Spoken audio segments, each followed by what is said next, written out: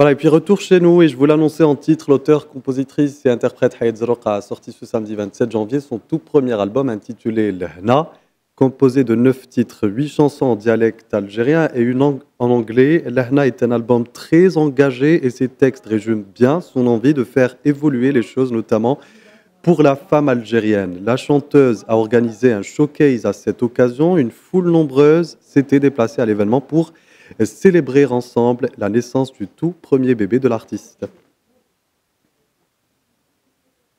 Et on retrouve sans plus tarder notre invité.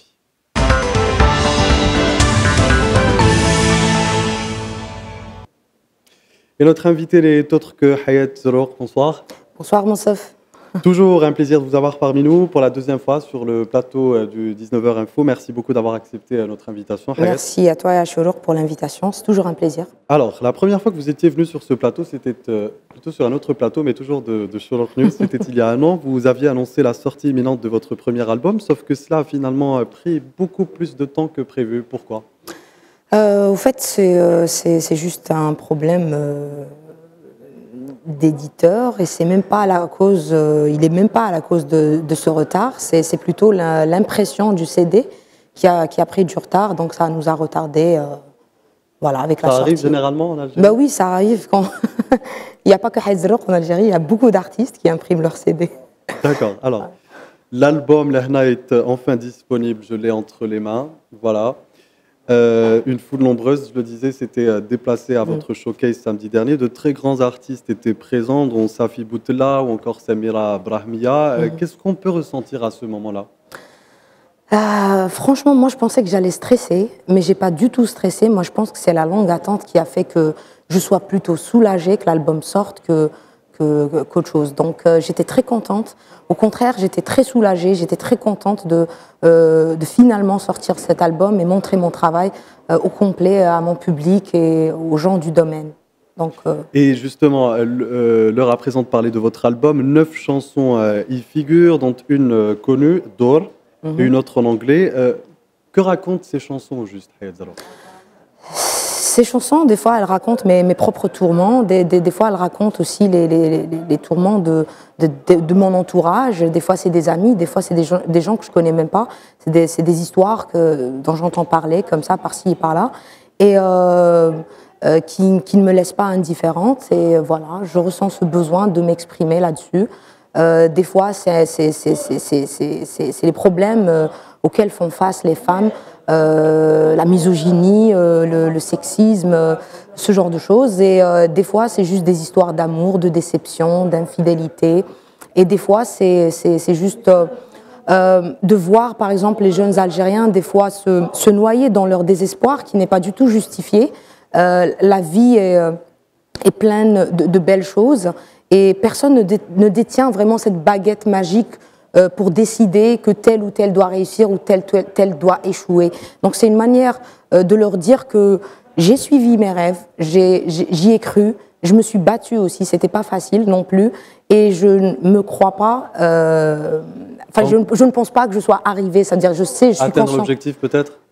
Pas encore? Presque. D'accord. En parlant des femmes justement, donc c'est mhm. finalement le même combat. Euh, comment est-ce que vous euh, évaluez la position et la situation de la femme en 2018 algérienne? Euh, il faut, l'avouer que la femme, algérienne comparée à d'autres femmes ailleurs dans le monde est, meilleure parce que la femme algérienne ne se laisse pas faire. C'est peut-être le tempérament algérien qui fait que qu'elle soit aussi forte et aussi battante que les hommes algériens. Donc, je pense qu'on se laisse pas facilement faire. Donc on se bat pour nos rêves et on se bat pour, pour vivre, pour avoir les mêmes droits, pour, pour être respecté tout simplement. Donc je pense qu'il reste beaucoup à faire, mais euh, on est sur le bon chemin, je pense. Alors, euh, euh, cet album, comme je le disais, contient neuf titres, c'est du folk rock. pour l'avoir réalisé, il fallait quand même beaucoup de temps. quelles sont peut-être les difficultés que vous avez rencontrées pour réaliser ce projet, Hayat? Il faut que les gens comprennent qu'un un album acoustique, à 100% acoustique euh, demande beaucoup plus de moyens et beaucoup plus de temps et beaucoup plus de compétences euh, qu'un album, euh, on va dire, fait avec une boîte à rythme ou avec un logiciel. Donc il a fallu que je trouve les bons musiciens, il a fallu que je trouve les bons techniciens, le bon studio. et je, profite de l'occasion pour remercier pour remercier euh, Tahat Art, le studio où j'ai enregistré, l'ingénieur du son, Abdelat Ibn Mejbari, l'arrangeur Sid Ali Mhamdi, et tous les musiciens qui ont participé, euh, Mehdi Jama, Hassan Khoualef, Najib Gammoura, euh, Youssef Grim, qui ont travaillé sur cet album et qui m'ont donné un, résultat, je, vais dire, satisfaisant pour moi.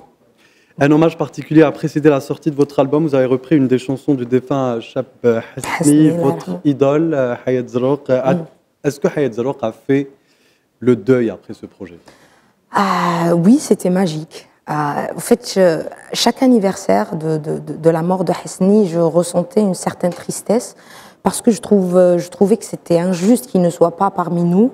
Euh, il était jeune, il était humain, sensible, et ça se voyait dans, dans, dans sa façon de parler, sa voix, ses, gestes, euh, ses, ses, sujets, ses, ses textes. C'était un chanteur rail, mais comme je l'ai dit, c'était un avant-gardiste, il faisait de la fusion, mais, mais il osait aussi toucher à des sujets que, que certains chanteurs, chanteurs euh, même, euh, même aujourd'hui, en 2018, n'osent pas chanter. C'est-à-dire le rail aujourd'hui se limite à l'amour, à la déception, les femmes, les femmes, les, les, hommes et tout.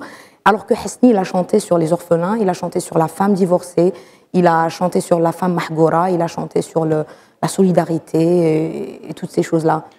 Mais certains vous avez reproché euh, de ne pas toucher à la musique de Hesni. Comment prenez-vous ces propos en temps normal quand vous les lisez? Franchement, je, m'en doutais qu'il y aurait des gens qui ne seraient pas d'accord. Euh, il faut avouer que Hasni, c'est,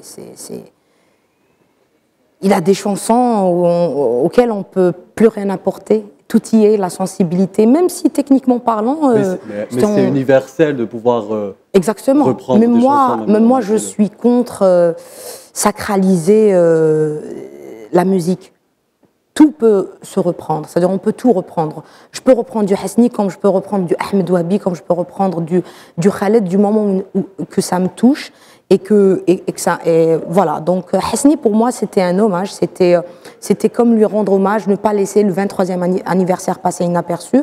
Et je voulais aussi rendre hommage à sa femme. Melouka Shkroun, que je remercie d'ailleurs parce que c'est elle qui m'a facilité euh, la procédure pour reprendre la chanson, elle et son fils Abdallah Shkroun.